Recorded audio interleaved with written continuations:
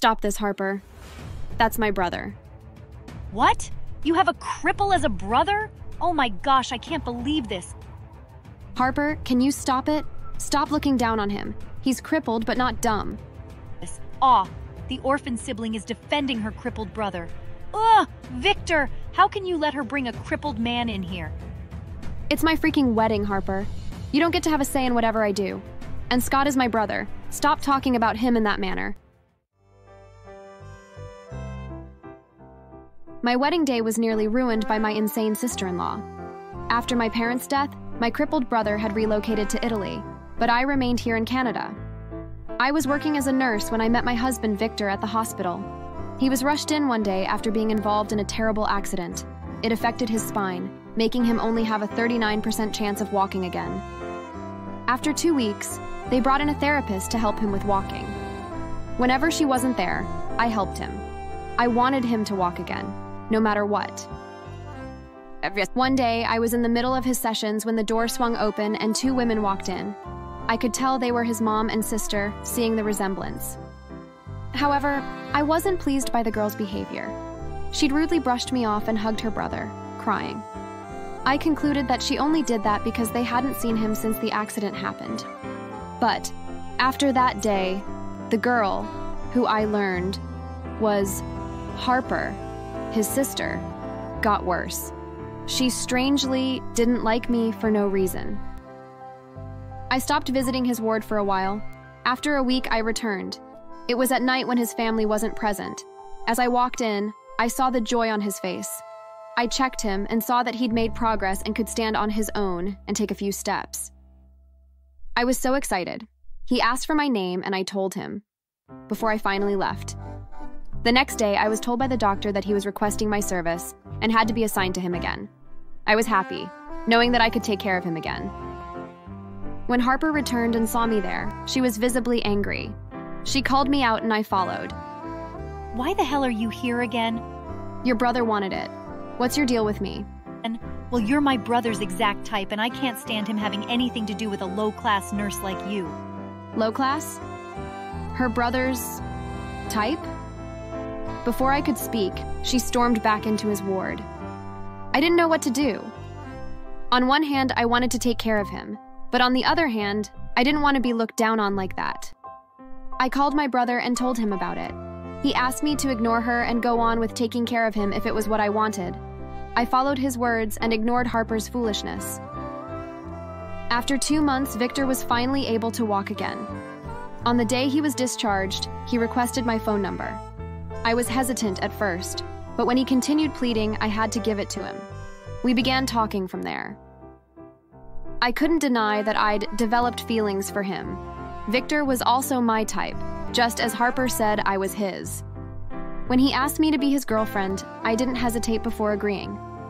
I told my brother about everything, as he was my most trusted confidant. He supported me all through. When Victor proposed marriage, I agreed. My brother couldn't be happier. He'd cried over the phone when I told him about it. I thought about introducing him to Victor. Since he wasn't in the country, we had the introduction over a video call. We spoke at length, and I felt so proud seeing how they spoke like longtime best friends.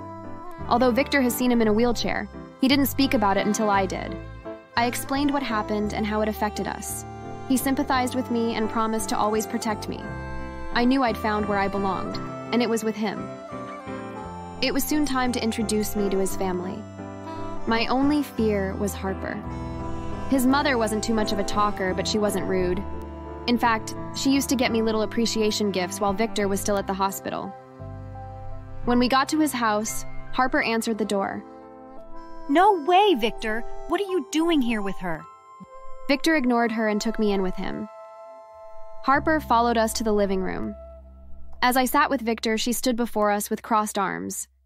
Wow, I can't believe this. You really did seduce him because I said you're his type, didn't you? I didn't seduce your brother. I would never stoop so low for a man, Harper. Oh, trying to be a saint, I see. Well, let's see how long you can keep that up. She took her seat opposite us as her parents walked in. It was the first time I was seeing Victor's father. He had a stern look, but he was so nice. They didn't ask us too much. They seemed satisfied to know how we felt about each other. With the introduction done, we proceeded to make wedding plans. But Harper was bent on frustrating me. When I wanted to go shopping for my gown, I'd wanted my cousin to go with me, but Harper told me she wanted to go with me instead. I agreed, hoping we would finally get to bond. Well, we arrived at the shop, and things seemed to be going well at first, until it got to when I began testing the gowns. Harper continuously said they were ugly.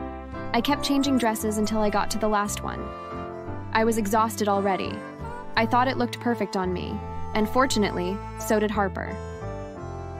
She rushed to me and pulled me into a hug. I was shocked for a second, but I hugged her back. Suddenly, and very swiftly, she ripped the gown open from the back. I quickly pushed her off. I checked the dress, and the tear had completely ruined the dress. What have you done? Isn't it obvious? An orphan and low class nurse like you should only be in rags, torn rags. Tears immediately gathered in my eyes as I watched her laugh evilly. She left the shop without me. I couldn't leave the dress after it had been destroyed, so I had to buy it, regardless of how expensive it was. I called my cousin in tears and she came to my rescue. She helped with a better dress and paid for it, even though I told her it was fine.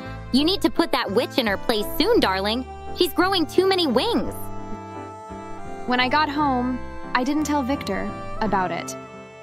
He hated how his sister always tried to get on my nerves, so I didn't want them having a fight over me. Anyway, our wedding plan continued to progress. Time flew so fast, and the day finally arrived. Harper had wanted to be in my dressing room, but I refused. I didn't trust her one bit. My mother in law had also asked me to be careful around her. I'm aware that Harper dislikes you.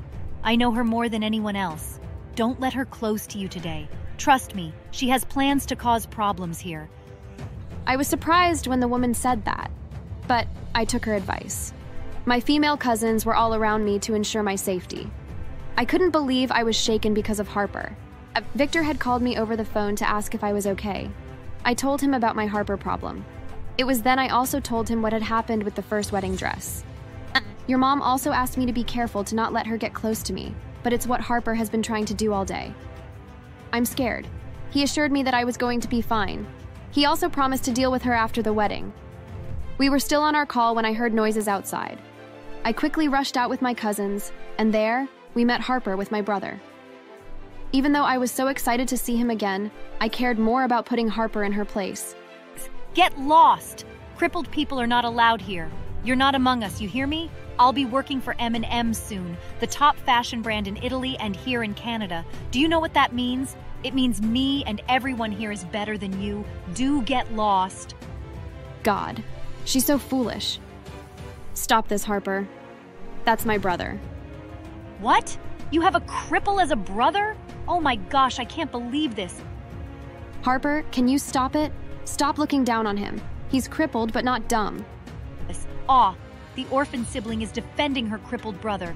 Ugh! Victor! How can you let her bring a crippled man in here? It's my freaking wedding, Harper. You don't get to have a say in whatever I do. And Scott is my brother. Stop talking about him in that manner. Shut the hell up, Chloe. No, you shut the hell up. Are you crazy? I've kept quiet all this while, but it doesn't mean I'm stupid. One more word from you and you're gonna hate me. Do your worst, bitch. I saw Victor walk toward her with so much anger, but his mom was faster. She landed a resounding slap on her face. How dare you speak to them that way, Harper? But, Mom, they're orphans and he's a disabled asshole. They're clearly only after Victor's money. This is where I speak, young lady. I'll start by informing you that I'm the owner of M&M, and trust me when I say you won't get to work there or any other fashion brand. Yes, it was my brother's. After he relocated to Italy, he started a fashion brand. He still managed my father's company while he grew his brand. I was shocked to see how far he'd taken it. He established another company in Italy as my birthday gift last year. I handle it from over here while he also helps me, alongside his trusted employees. I only worked as a nurse to pass time. Do you think we're poor nobody's brat? My sister owns Tycon Production in Italy. I'm sure you've heard of it. And by sister, I mean Chloe. Aside from Tycon and M&M, we have one more company. Just so you know, she's wealthy enough to take care of you for the rest of your miserable life. She only works as a nurse as a hobby. I smiled at the shock on her face. Victor knew about my company, but he had no idea about my brothers, so he was also shocked. If you don't believe me, try reaching out to the company tomorrow to reject your dismissal. That's what you get for being so evil. You call them orphans, but I'm glad they know who their real parents are. Victor, let it slide. Tell me what you mean, Victor, right this minute. You're adopted, Harper. They knew their parents, you don't. Is it clear now? I was shocked. She wasn't their child? She was already in tears now, but no one seemed to be shaken. Her face was full of shame and regret. She tried to run, but my brother tripped her and she fell face down, breaking her nose in the process. I screamed in shock when my brother stood up and moved his wheelchair away. He walked over to Harper and squatted. I am not a crippled man anymore. Stupid. Now get your unfortunate self out of here. Harper stood up and ran away, her nose bleeding. No one followed her. No one seemed to care. I rushed to my brother. How did it happen? The doctors suddenly told me I'd improved, placed me on therapy for a year, and here. I came to surprise you with it. I pulled him into a hug, nearly crying. I hugged him like that for nearly a minute. That's enough, siblings. We have a wedding to continue. We all laughed and went back in to finish our preparations. Harper? Who cares about that loser? Absolutely nobody. Our wedding went smoothly, but by the time we got home, we received a call from a hospital. Apparently, Harper had been crying after hearing she was adopted and was about to cross the road when she was knocked down by a bike. From what the doctor said on the phone, she might not be able to walk again. Thanks for watching. Make sure to subscribe and leave a comment down below saying I subscribed, and we will try our best to reply to your comment. While I tried to avoid them verbally, it appeared that my presence, physically, annoyed them. They wouldn't walk past me without hitting me. My mom would pour all the chores on me and ask me to finish them at an impossible time. When I don't do so, which is always, she would hit me for it. Barely five months after. Scenes revolve, I'd lost a lot of weight and had bruises all over my body. Hi, my name's Penelope. You might be wondering why I'm in front of a police station. Well, my mom just got locked up and I'd come to see her for a conversation. Nope, it's not one that would lead to her coming out soon. I would rather she remains there for the rest of her life. I'm not a bad daughter. In fact, I've been good to her for as long as I can. I'm an only child. My dad worked as the vice president in his father's company, so we were rich. We stayed in a mansion my dad built with his money, and we had cars and everything. I grew up in wealth. My dad loves me, especially. We were practically best friends.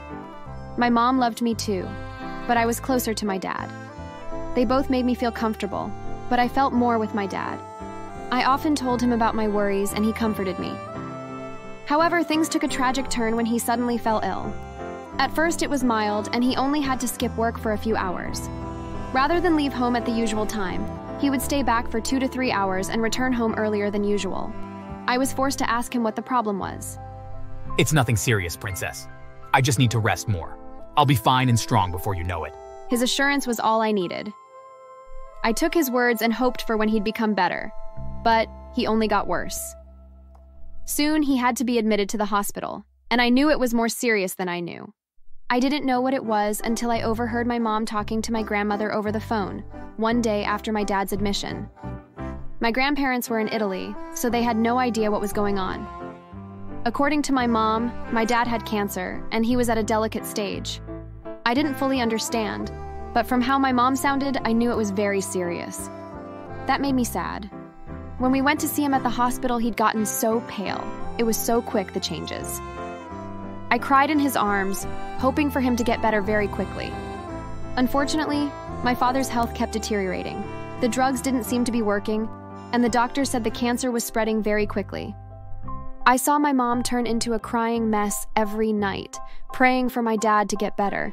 It was a devastating period for our family. Eventually, after one year of suffering and trying different treatments, death took my dad. He died at night while my grandparents were watching him. That was the saddest day of my entire life. I cried until I passed out. When I woke up, the thought of not seeing my dad again registered in my head, and fresh tears rolled down my eyes. My mother looked like she wanted to die with him. She kept asking them to let her go. Time passed by very quickly. His funeral was done, and we had to learn how to live without him. My grandparents and my dad's brother were so kind to us. They put my mom on a monthly salary and took over taking care of me and all my expenses. Life wasn't the same without my dad. I watched my mom become a shadow of herself.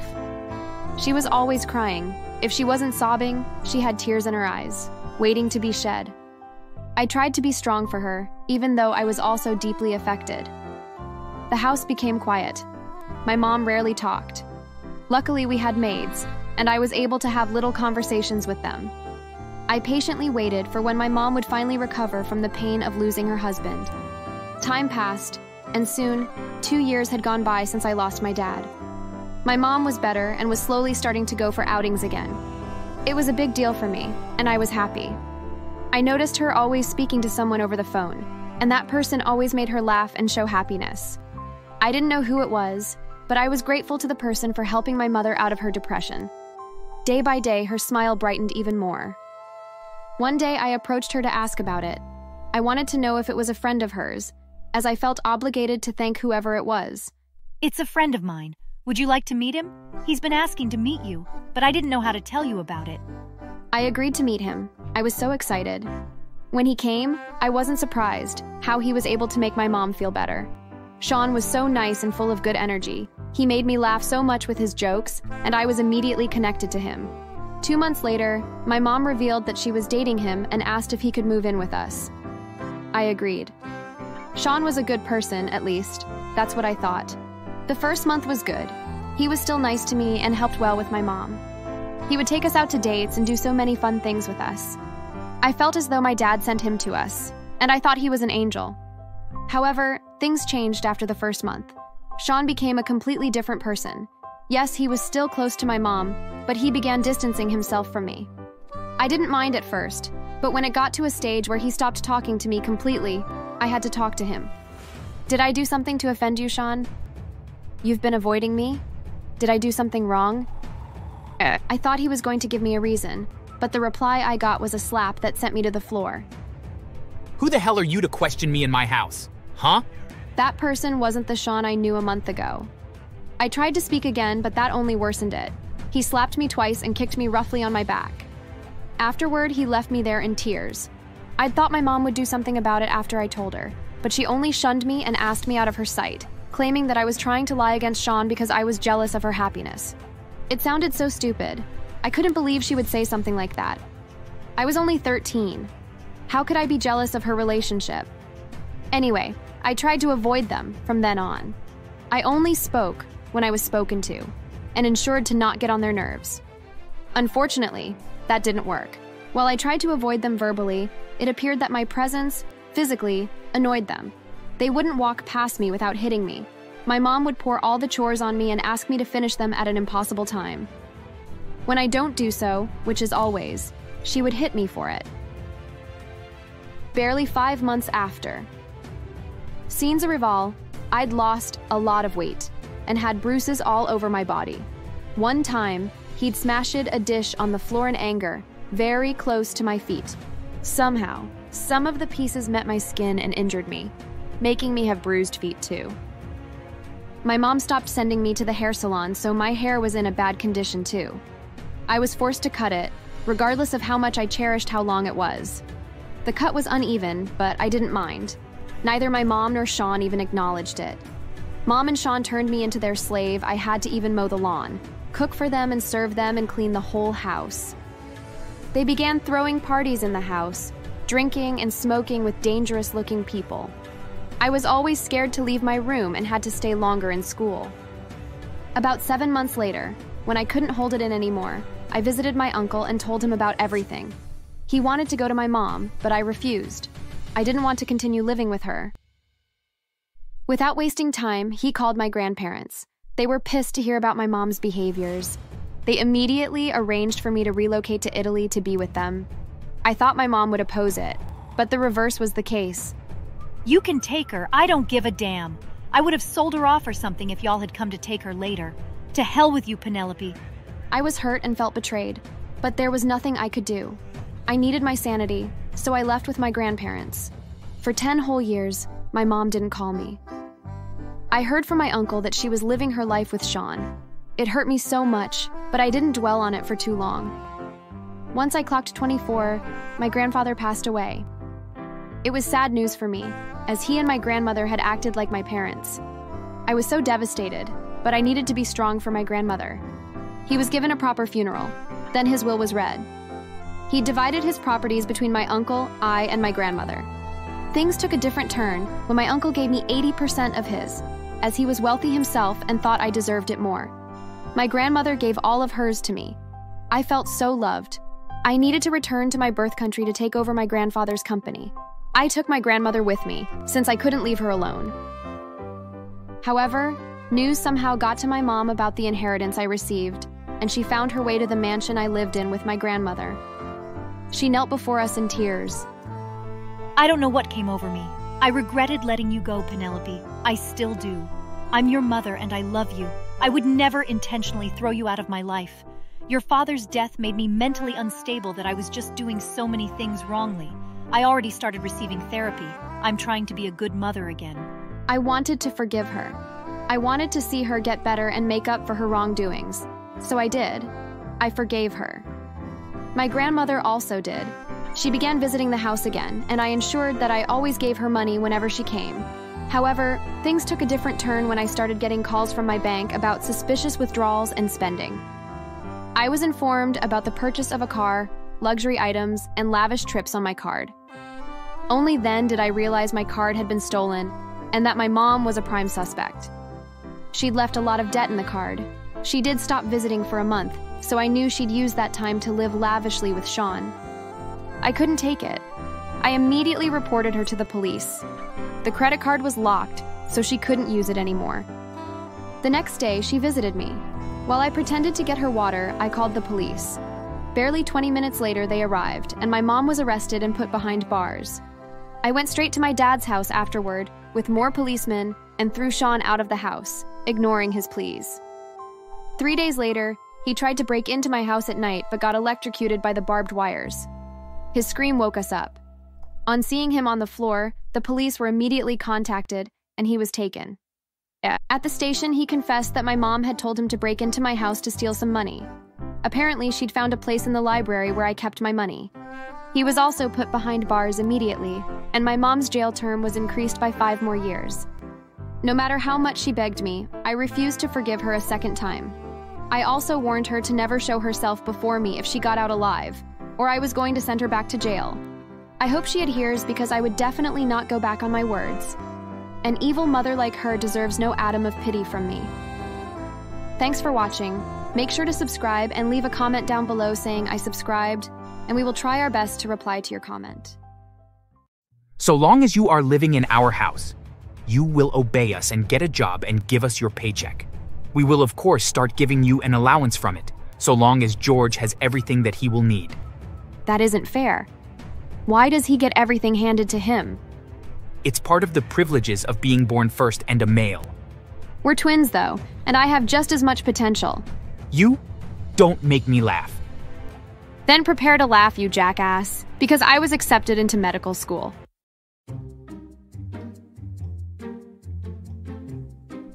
Hi there, my name is Megan, and I'm in a bit of a difficult situation, and I would love to get your opinion on what I should have done differently. For starters, I have struggled all my life for any sort of recognition. My brother and I are twins, and even though I was born first, he was always given more attention. As I grew up, I realized that it was entirely because he was a male.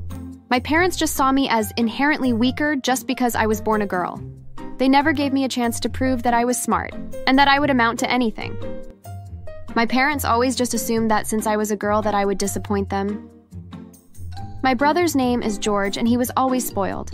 My parents would hire expensive tutors to help him get the best grades possible and would hire coaches to help him perfect how to play various sports. Honestly, they signed him up for so many things. That looking back now, I wondered why he didn't have a nervous breakdown. But at the time, I was jealous. To me, it just looked like they were ignoring me and giving all their attention and love to him. It made me so furious at them. Okay, so George, your piano practice is at 3, and your track and field coach will pick you up from practice and train you until 7 tonight. So make sure that you bring a snack so you don't pass out again. Um, yes, Mom? Hey, I would love to learn piano. Can I take lessons as well? You? Are you kidding?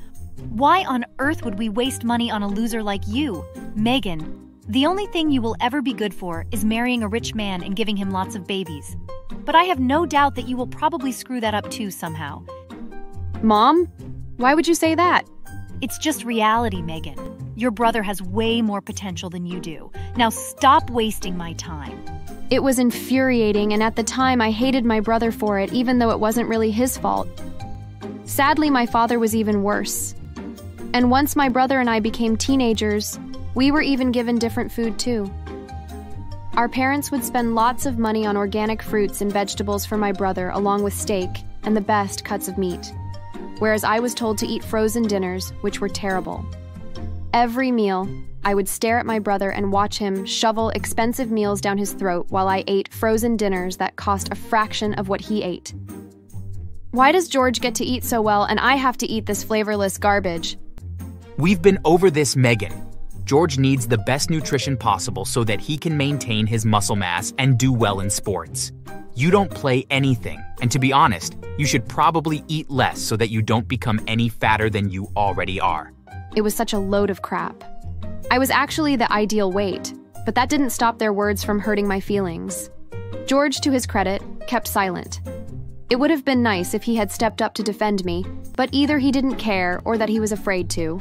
Either way, I was just as furious with him as I was with my parents, who were monsters. At any rate, there really wasn't much I could do. But then my dad broke his leg, and while we were in the hospital, I saw how the doctors and nurses cared for him, and I knew that that was what I wanted to do with my life. Even though my family treated me like a complete loser, I wanted to help make other people's lives better by helping them in their time of need. It was hard going, of course, because my parents would never in a million years pay for me to go to school. So I got a part time job in secret and started saving money. I knew that I would have to rely on scholarships and to get a student loan, but it would all be worth it. Finally, when I graduated from high school, I applied to medical school and was accepted.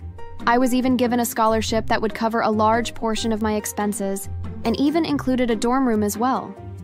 It was then that things really took a hard turn for me, though.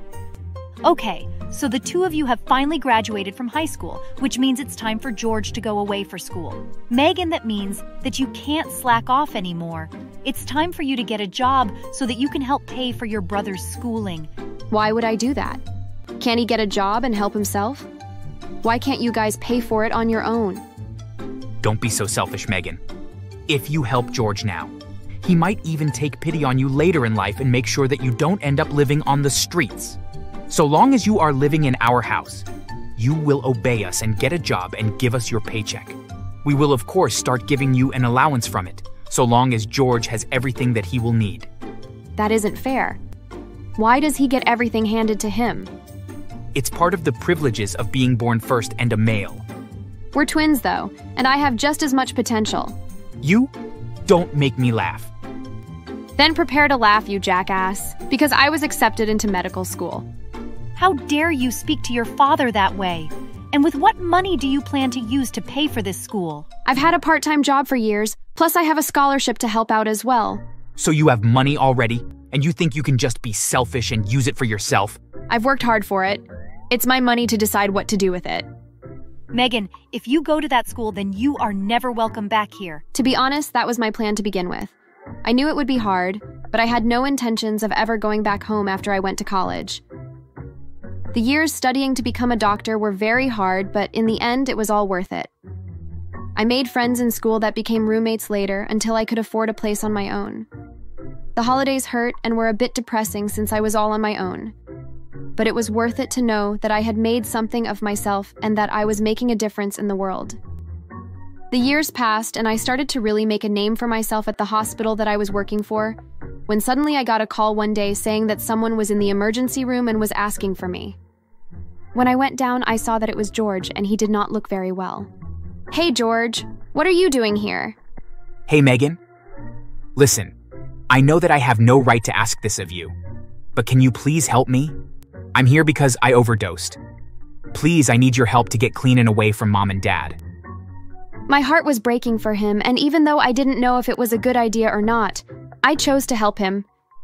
Yes, I will help you. But why are you here, and why do you want to get away from mom and dad? Well, I got injured while playing sports, and rather than taking time to heal, mom and dad started giving me painkillers to make me numb so that I could keep playing. It didn't take long before I started needing the pills more and more, and I got addicted. They knew this, and so they used them to control me. Whenever they wanted me to do something, they would threaten to cut me off if I didn't do as I was told. Please, Megan, I really need to get help. I can't keep living like this. I promised that I would help him, and I brought him to my house and gave him some new clothes and a hot meal. He was incredibly grateful, and the next day, when I was at work, he spent the entire day cleaning my house and even made us dinner. It was incredibly unexpected, and considering how he was still under the weather, it was incredibly sweet of him to do so. For weeks, he kept doing things like that. He even began repairing little things around the house that I had neglected. I told him that he didn't have to, but he said that it helped him to keep busy. Around that time, I helped him sign up for a rehab program and became his sponsor. It was a difficult journey for him, but with my help, he stayed clean, and I even helped him get a job as a contractor. He had shown that he was very skilled at house construction and repairs. It made him happy to work repairing people's houses, and it kept him occupied and drug free. However, one day I came home to find my parents on my front porch banging on the door. George, let us in. You've had enough of a vacation, but it's time to come home. Yes, George. We need you to make money to help us. You wouldn't want us to starve, would you? We have your medication. Surely you need a fix by now. What is wrong with you people? He finally got clean, and here you are trying to use his addiction to manipulate him. Have you no shame? Oh, look, it's the loser that is trying to steal our son from us. Just mind your own business, idiot. George, you come out right now. I was so angry that I pushed them both off my porch, and they landed in a muddy puddle. They had grown rather frail, and it was very easy to overpower them. With them out of the way, I unlocked the door and slipped inside before locking it again. George was inside and was in tears. I finally realized that he had been traumatized by our parents just as much, if not worse, than myself. I held him and comforted him while I called the police and had our parents dragged away. I then applied to get a restraining order put on them so that they couldn't come anywhere near my home, which of course they broke, resulting in them serving jail time. After that, they stopped harassing us for some time. I knew deep down that they wouldn't give up, but I also knew that I needed to protect my brother from them. And so it went on like that for a couple years, until I heard that my parents had been forced to move into an assisted living home. Without my brother giving them money, though, they were forced to move into one that they could afford and I knew that it was a terrible place. The staff weren't medical professionals and treated their patients like animals. They lasted a few years there before they passed away. Neither George or myself went to either of their funerals, but I am happy to say that we are doing great. It's so amazing to have my brother in my life, and although we have a small family, we are incredibly happy and spend all the holidays with each other. The only thing I regret is all the years that our parents kept us apart. Thanks for watching. Please subscribe to the channel.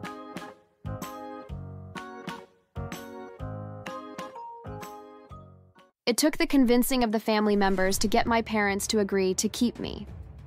Everyone knew I wasn't loved or wanted by my parents, and it was my worst experience while growing up. Whenever I had fights with my cousins, they always yelled about how my parents hated me. My parents weren't helping matters either. They would go for family gatherings and parties with just my brother. When people asked about me, my father would say, Why should we care? She should watch over the house. We didn't ask the universe for her. I managed to grow up in the midst of such discrimination.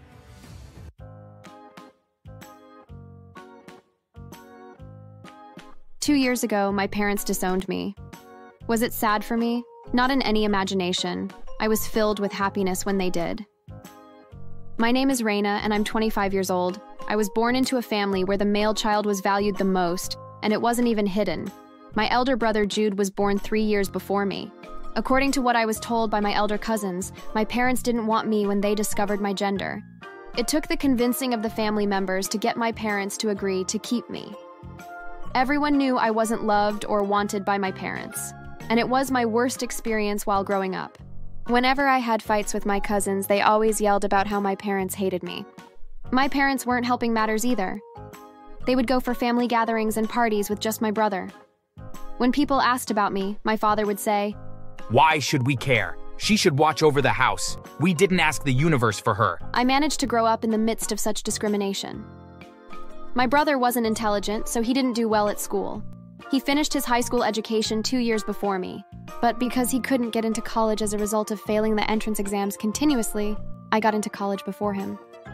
My father was jealous of that. As a result, he asked me to drop out of school, You have to leave school. Jude is a man. He should be in college first. but he can't get in. He's not brilliant and can't pass the entrance exams. I passed, so why should I drop out because of him? How dare you think you have the right to question my decisions? Who do you think you are? Wow. Unwanted children should soak in depression, not be confident. Usually, in cases like this, the mother supported the girl child who was unloved. But my mother was a different person. She would agree to every word my father uttered. To her, too, a girl child was useless. Once, when I'd accidentally broken a plate, she told me how she hated me. I regret birthing you. I hate you so much, you stupid child. The other women have only boy children. Why were you given to me? How dare you break my plate? It was just a plate. I wondered why she said so many hurtful things. When my father returned home that night, she reported to him and made sure he disciplined me through beating. So, when she called me an unwanted child that day, I wasn't surprised. I insisted on not dropping out for my brother. Well, if you won't drop out, pay your fees yourself. Pay everything yourself, stupid child. I had no idea where I would get the money to pay, but I boasted that I'll find my way without them. Fortunately for me, two days later, a scholarship program was announced. I immediately hopped on it and requested to take the exam. I knew I was very intelligent, so I was sure of securing a spot. However, a twist happened when it was suddenly announced that only two people would be picked from my college, instead of the initial 10 that was said in the announcement. I was worried throughout the week. My college was known for breeding very brilliant students. I knew it would be a huge competition. Since they were only going to pick two people, I decided to forget about being among those two. How on earth was I going to beat the numerous brilliant ones to win a spot? I was shocked when two days later, I was informed that I was the first of the two students who were picked for the scholarship. I was surprised. It was all like a dream until I signed the agreement to be sponsored throughout my college education. I burst into tears afterward, unable to contain my emotions. When I got home and announced the news to my parents, I could see the jealousy in their eyes. Should that make us happy? Is it new to you that we don't care about whatever happens in your life? Our son can't pass his entrance exams, and you managed to pass and even get a scholarship. Don't you think it's insensitive of you to tell us about that? Insensitive? I couldn't understand how it could be termed insensitive to share good news. Anyway, I retired to my room that night. Two weeks later, my parents came to me with a strange request. We were thinking about going to your school first, but Jude thought it would be better to speak to you first. Why? Is there a problem? Well, I'm going to be straight with you. Your father and I want you to give up the scholarship for your brother. We think he deserves it. We plan to borrow some money. We're going to use that to sponsor you ourselves. I knew the exact reason they requested that. My parents love to boast. If my brother got the scholarship, it would be a great honor to them. However, I got it instead. My parents can't tell anyone that their unwanted child had the scholarship, so they thought of a better way to boast with it, and that came up. Well, I'm sorry, but it's impossible to do that. Jude isn't brilliant to start. Secondly, it's impossible to give my scholarship to him. Who are you to say that? We're going to your school to confirm. Fool. We'll go to the college ourselves to make the request. It was a mistake coming to you. True to their words, they were at my school the next day to request a switch. To their disappointment, they were given the same response. It was impossible to switch the spots. My parents went home disappointed and pissed at me because the school's president praised me for being a great student. Surprisingly, two months later, Jude suddenly got admitted into my college. I had no idea how that happened, but he did. Even worse, the few cousins who still found me worthy told me about my parents boasting about my brother's supposed scholarship into my school. I was confused, but I brushed it off. I also didn't think about how he got in anymore. All I was focused on was how to maintain my scholarship. I managed to scale through college. Throughout our years of being in college, not everyone knew we were siblings. My brother ignored me like I was a plague. He also was known for spending lavishly. We weren't wealthy, but we were doing well. However, with our status, my brother wasn't supposed to have that luxury. In his second year, my parents got him a car. I was shocked. All I could think of was where and how they got the money. As if my brother's case wasn't enough, my parents were also spending insanely from the moment my brother got into college. They went on vacations, shoppings, and even bought unnecessary things. Of course, I wasn't given the luxury. On my graduation, my parents bought me a dress worth $8,000. According to them, they'd kept that money aside to surprise me on my graduation. I couldn't believe my ears. Seeing my parents smiling at me and speaking to me softly was scary. However, with a little more affection at my graduation, I thought it would be fair to accept them. I concluded that they were sorry about their actions and that was the best way they could think of an apology. However, to my utmost shock, they returned to their old ways immediately after my graduation. I was disappointed. Nevertheless, I went on with my life. I managed to secure a well paying job two months later. Of course, my parents knew about it. I was confused when, three months later, I got a call from a student loan organization requesting to see me in their office.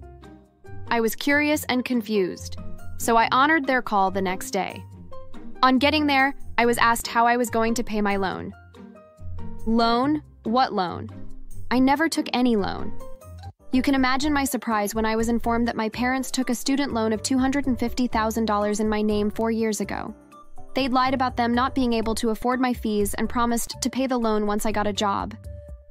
I was also told that my parents had called them to inform them that I'd gotten a job and it was time to take the loan from me. Furious, I left the office and went straight home. How could you both do this to me? Where do you expect me to get $250,000? You could have aborted me if you didn't want me, rather than put me through pain all my life.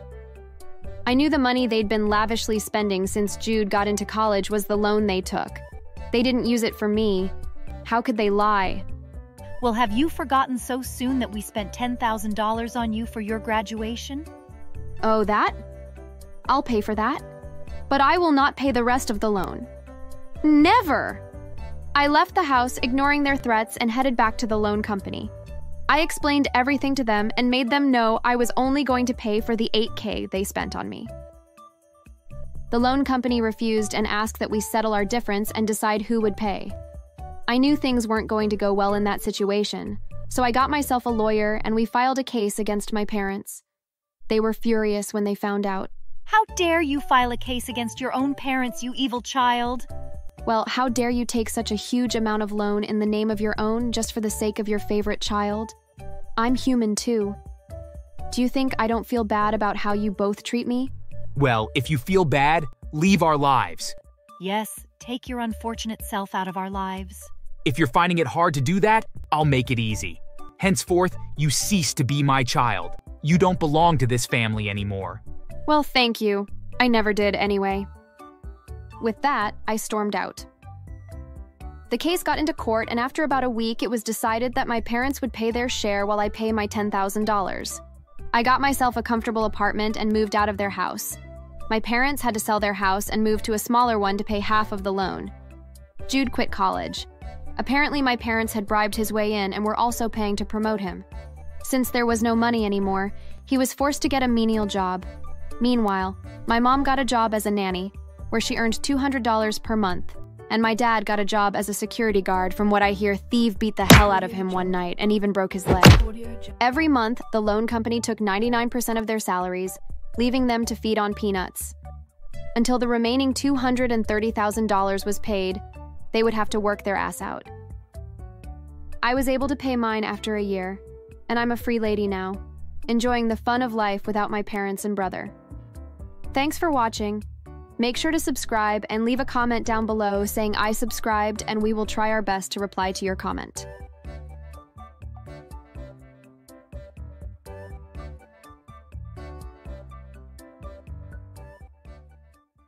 Just then, Evelyn's mother charged at me and spun me around and began pushing my chair out of her house and towards the busy street. I only managed to engage the emergency brake just in time to avoid being pushed into traffic. As a result, Evelyn's mother lost her footing and slammed down hard onto the sidewalk. As she got up, she made a move to grab my chair and try to tip it, and so I slapped her as hard as I could to make her back away. Once she did, I turned the brake off and got out of there as quickly as I could. Hi there, my name is Curtis, and I have quite the story to share with you. It's quite the ride, actually, and involves quite a bit of drama, although I really wish that that wasn't the case. At any rate, my story begins just after college. I had just graduated from law school and was looking to find a firm that would hire me. Thankfully, my good grades had already gotten me some attention from a few firms, and I was trying to decide which one to work for when I saw the most beautiful woman I had ever seen in a coffee shop. I knew that I had to introduce myself, and so I went over and said hi and told her my name. At first, she was a bit hesitant to speak with me, but I put the charm on, and within a few minutes, she was laughing, and we were making plans to go out on a date. She told me her name was Evelyn, and that she had just graduated from medical school and was on the fast track to becoming a surgeon. I found this fascinating, of course, and I knew that she and I would make for a great pair. I was, of course, worried that she would stand me up, though. After all, I can be pretty charming, but there is a major catch. You see, not everyone can get past the fact that I'm in a wheelchair. Sadly, I was born with a rare condition that made my legs useless. I still have feeling in them, but sadly, I will never be able to walk. But I have come to terms with it, and I have never let it hold me back. But it is a hard thing for most people to accept. So when Evelyn showed up, and we ended up having a lovely time, I was beyond happy. The next few months were wonderful.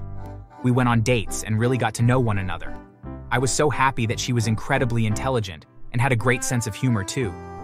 We were madly in love, but then it came time to introduce each other to the other's family. Mine was very welcoming and accepted Evelyn with open arms, but Evelyn's side did not go so well. Her father had left her mother and Evelyn when she was very young, and Evelyn had told me that her mother had hated men ever since but something told me that she didn't care for me because of other reasons.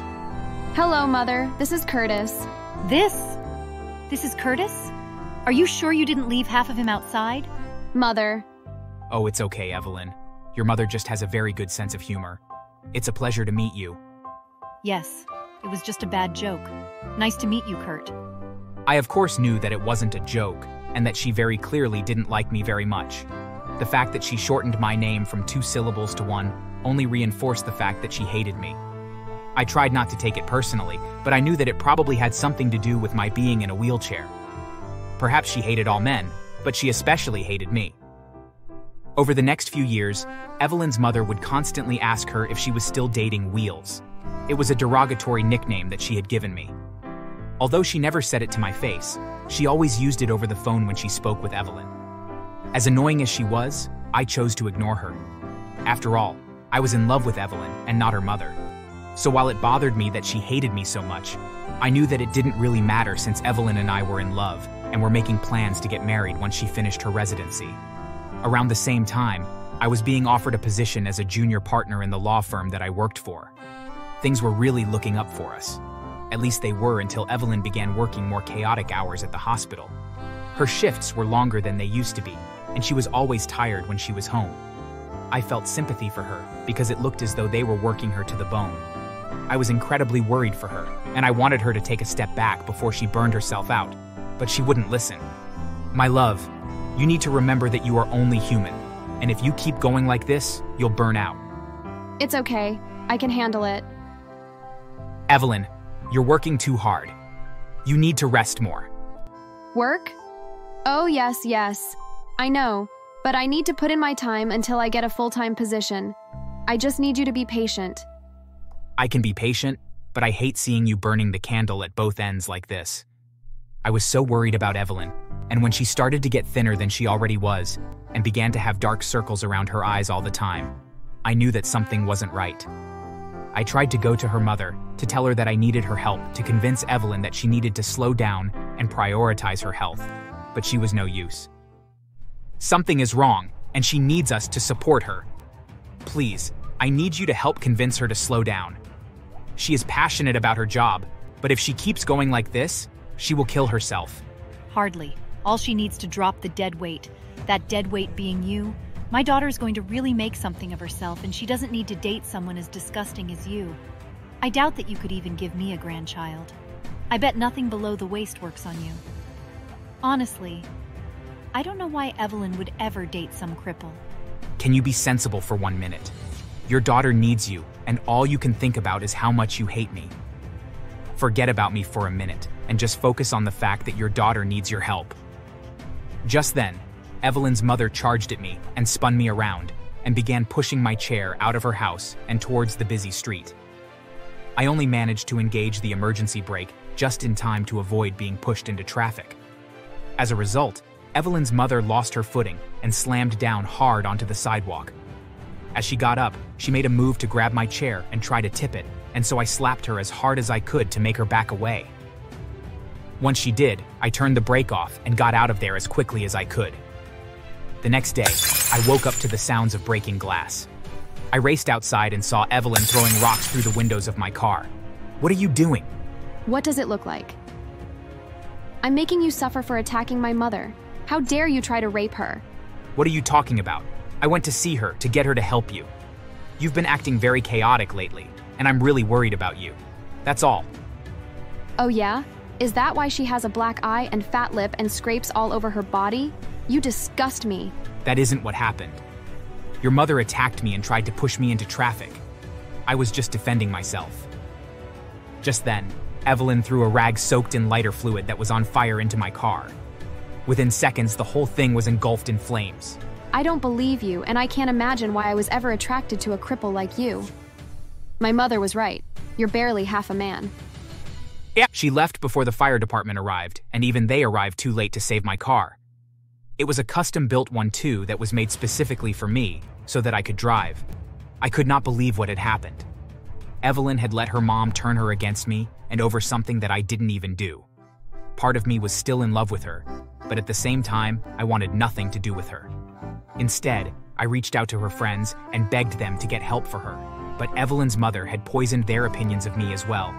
More than a few told me that they were glad that Evelyn had been cheating on me now, knowing that I was a monster that would attack Evelyn's mother. They would not believe me when I tried to tell them the truth. In the end, I sued Evelyn and had her charged with the destruction of my property. The court awarded me $32,000 in damages, which helped me to replace the car she had destroyed, but the only other punishment they gave her was dozens of hours of community service. It was a slap on the wrist, really, but I didn't care. I was no longer tied down to her, and that was enough to make me feel some relief. That is, until a few years later, when a client approached me and wanted to sue Evelyn for medical malpractice.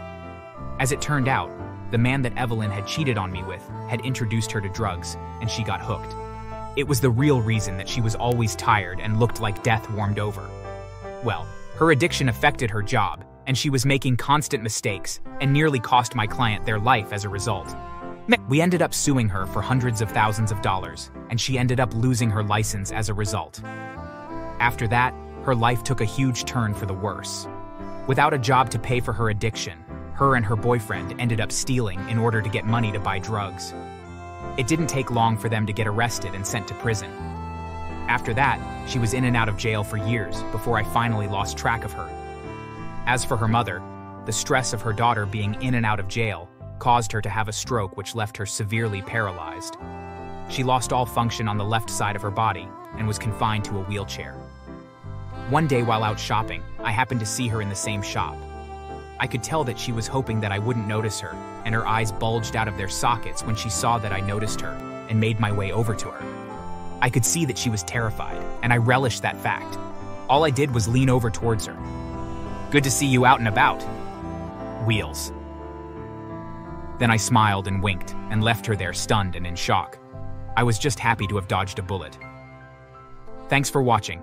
Make sure to subscribe and leave a comment down below saying I subscribed and we will try our best to reply to your comment.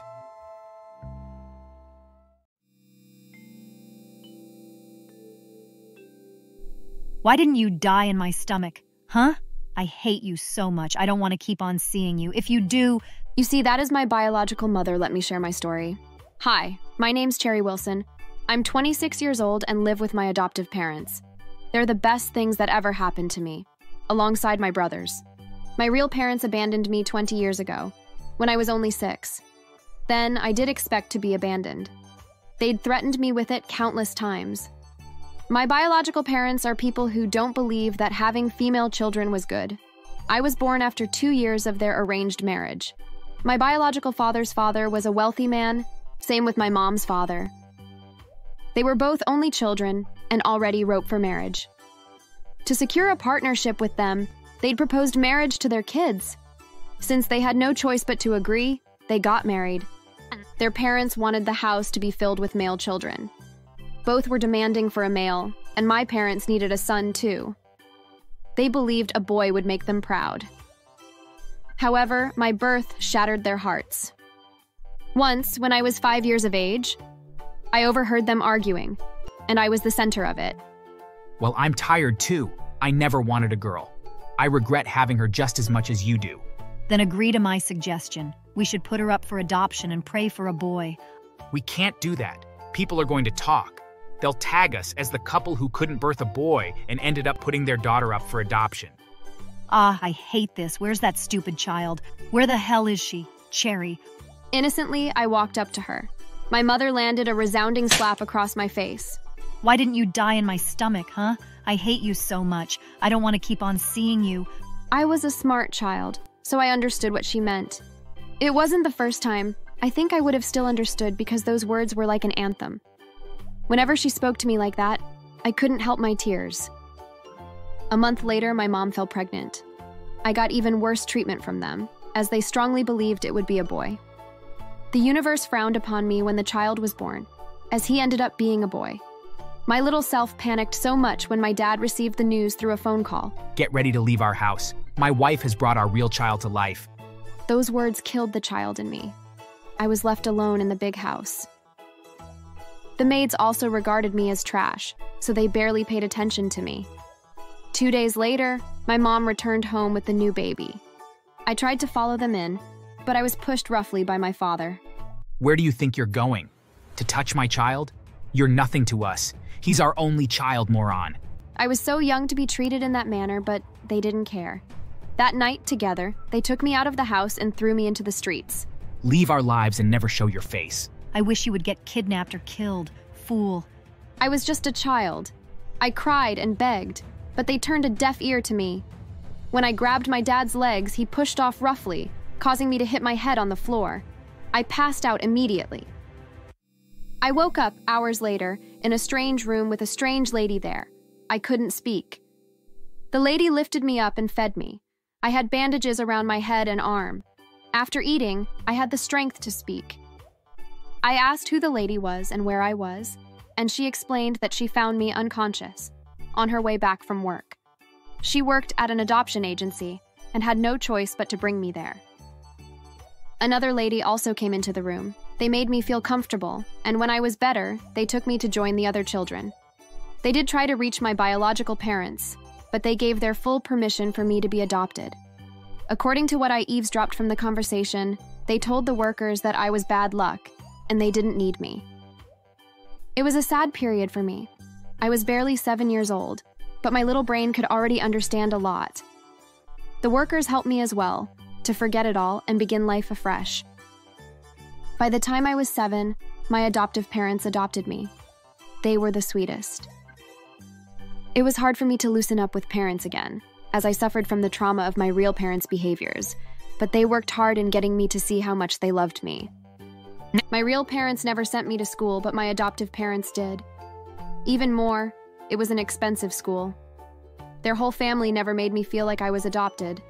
Everyone loved me. However, four years later, at age 11, my adoptive parents had their first real child. It turned out to be a boy. When I heard the news from my grandmother, I went into a deep state of panic. I was used to being loved by them, so the news of them having a son of their own brought in a rush of emotions. I wasn't happy because I thought my time in their lives had ended. My real parents abandoned me after they had a son, and I thought they would do the same. My grandmother understood my fear and immediately began to comfort me. She assured me that I was part of the family and they would never let go of me for anything. It was hard to get me calm, but it eventually happened. On getting to the hospital, I broke down again, but my adoptive dad was there for me. They told me I was their first child and first daughter, and having a son would never change that. We love you, Cherry. Do not be scared. We will never abandon you. My adoptive mom also comforted me. I held my new brother in my hands, and I became even calmer. Life was good with a new member in the family. My family ensured to show us equal love. I also showered my brother with love. Our family got even happier. At age 16, in my final year in high school, my parents had another son. This time, I was even happier than them. I was overjoyed to have another member added to the family.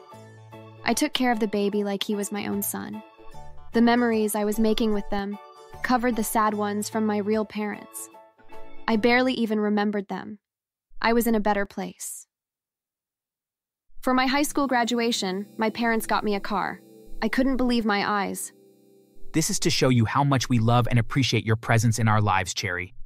Thank you for making things easy and even better for us. We love you, baby. I burst into tears. My parents pulled me into a hug, whispering comforting words to me. My friends congratulated me. I was happy. I took exams for college and passed. My dad had started a chocolate company, so I went into business school to assist in handling it. My parents were proud of my decision. I'd wanted to ask you, but I wanted you too to choose what you want. You're so thoughtful, baby. Your dad and I are proud of you and grateful for you. I was glad to have made that decision. I spent five years in business school. By the time I finished, my dad's company had grown even more. I began working immediately as the vice president. My younger brother was almost done with high school and had told me he was also going to join the business. I began to train him immediately. My other brother aspired to become a medical doctor, so he cared less about the business. Life was going smoothly for our family. Two years into being a vice president, we opened a different branch, and my dad handed its management to me. I was immensely grateful and worked hard to make him proud.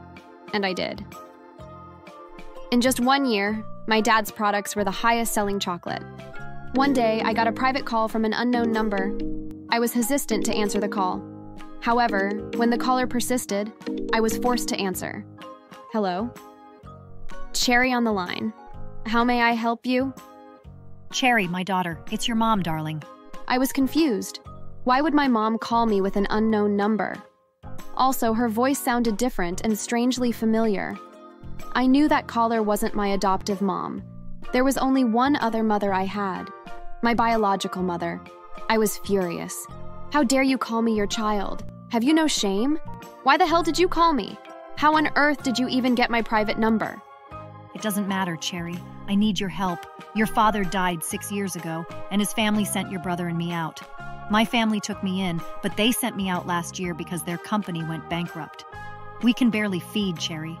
Your brother doesn't even go to college anymore, and no one is willing to employ a dropout. Help us, Cherry. Her audacity was shocking. I couldn't believe how shameless she was. After destroying my childhood, how did she get the courage to call me again? I ended the call without saying a word, as I knew I would say a lot of hurtful things to her if I spoke. She continued calling nonstop, but I refused to pick. During dinner with my family, her calls still kept coming in. Pick up your call, baby. Why are you ignoring it? I was hesitant to tell her the truth of who it was, but I eventually did. I don't know how she got my number, but isn't she so shameless? Answer her, darling. Help her out this once. You're good, unlike her. It took three days, but they finally managed to convince me. I finally answered the call. I got her bank details and wired a large sum of money to her. Don't ever call me again. I don't want to have anything to do with you. I'd thought it would end there, but a month later, she called again. I gave birth to you. You can't just abandon me. Send us more money. Your brother's school took more than half of the one you sent. Send us some money, Cherry. I'm a man, and I'm going to be better than you in the future. I might remember to help you then. That was it for me. I lashed out at them very disrespectfully and told them to never call me again. However, they didn't stop until I was forced to abandon the phone. A week later, they showed up at the company. She caused so much trouble, telling everyone that my adoptive parents kidnapped her child. I couldn't tolerate her behavior. I contacted the cops immediately. They were both arrested.